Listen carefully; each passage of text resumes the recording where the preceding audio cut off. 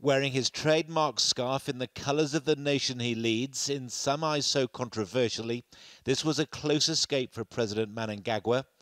In the smoke and confusion, he was ushered to safety, apparently unscathed. But there were injuries to senior government figures, including the wife of his deputy.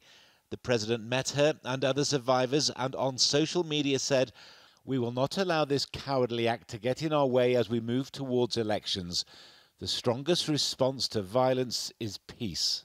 Mnangagwa came to power in November when the military moved against Robert Mugabe, Zimbabwe's leader since independence. Many called it a coup, so a keenly contested election next month is vital to confer legitimacy on a new government.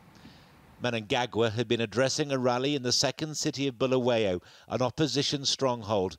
Some will blame the blast on rogue elements in the old regime. Certainly, Zimbabwe's path to democracy is now fraught with danger.